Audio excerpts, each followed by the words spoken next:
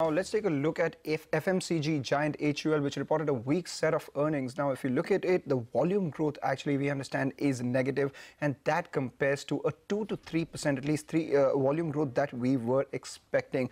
Now, price hikes have uh, seemed to have severely impacted consumer consumer sentiment because if you look at it, it uh, it seems as if the company is actually focusing on margin protection versus volume growth, and this is an absolute diametrically opposite to what Dabur had said to us just a few hours earlier that they are looking to protect volumes at the cost of margins, which is which could go even lower by 50 to 100 basis points. So total income growth of 1.6% on HUL has come largely, in fact, all of it has come in by price-led growth because the volume growth has actually been negative by 1%, and this compares to 4% positive growth, 4% positive growth, and 6% positive growth in the last three quarters if the trend comes up for you. And I have the data for the last 13, 14 quarters. It looks like the first time the company has posted posted a negative volume growth in at least the last 13 quarters. The EBITDA margins have been maintained. In fact, they've grown by 60 basis points around that 16.6% mark, and that is because gross margins have been maintained at 53.3%. The net profit has grown 12%, a tad bit above our estimates, but this again, remember, has come at the cost of lower volume growth. If you look at the segments, the personal care segment, which is soaps, oral care, skin care, as well as hair care, that is where the price hikes had been taken 4 to 8% price hikes in the soaps division. There, the revenue has come in lower by nearly 3 tenths of a percent. Margins have increased a tad bit owing to the high, uh, higher prices.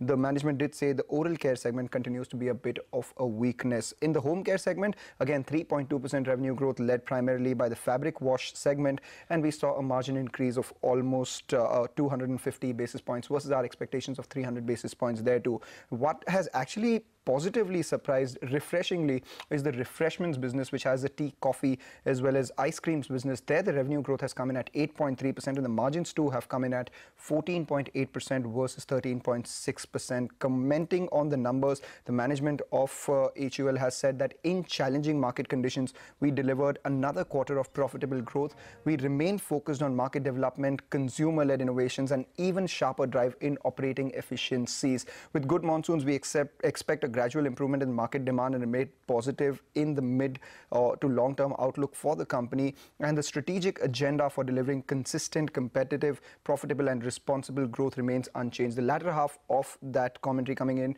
has absolutely been unchanged from the last quarter and the market, uh, market conditions too continue to be challenging with negative volume growth of 1%. Let's get in some analyst reactions. Then we have Sanjay Manyal of ICICI Direct. Sanjay, what do you make of these numbers? 1.6% revenue growth, we understand that the volume growth is a negative 1. Profitability has been protected, increased, but uh, what would you make of the negative volume growth? Yeah, so it's uh, it's a bit of disappointment uh, because we were expecting uh, in a range of 4 to 5% kind of a volume growth, but uh, as you mentioned, it has posted a negative kind of a volume growth. 1.4% sales growth is also reflecting fairly negative as far as the sales growth is concerned.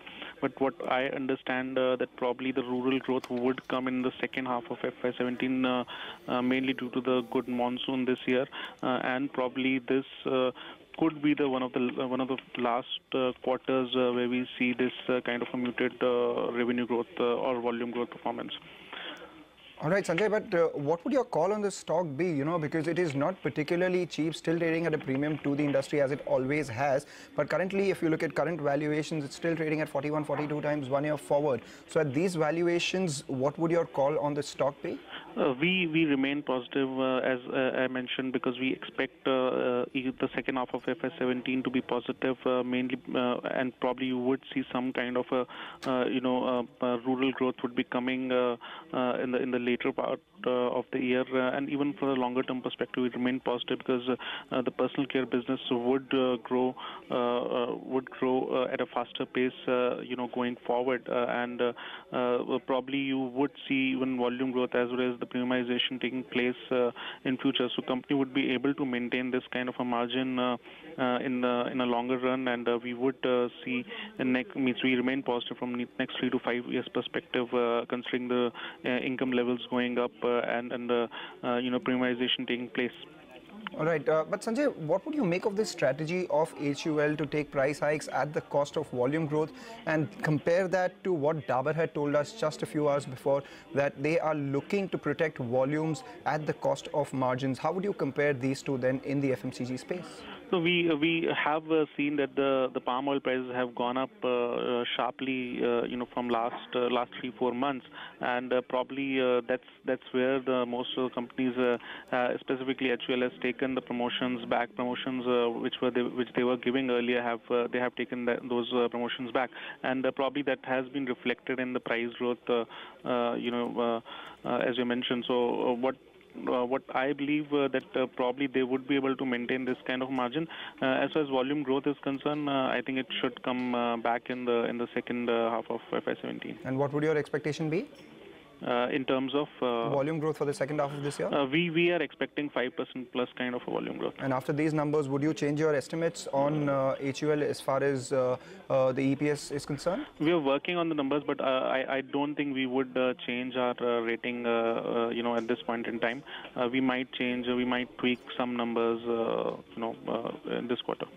All right. Uh, thanks a lot, Sanjay, for joining in and giving that quick analysis on HUL, indicating that perhaps the volume growth, this is the last of the, uh, the negative volume growth that we're seeing, and they expect that volume growth to indeed recover going forward with the margins being protected. On this note, let's also hear out PB Balaji, the CFO of HUL, on the challenges that the company is facing in the near term. We face challenging market environment this quarter as well. Market growth continued to be soft and input costs inflated further. We'll keep the focus on volume growth and improvement in operating margins, and we'll continue to drive consistent, competitive, profitable, and responsible growth. All right. Uh, with that,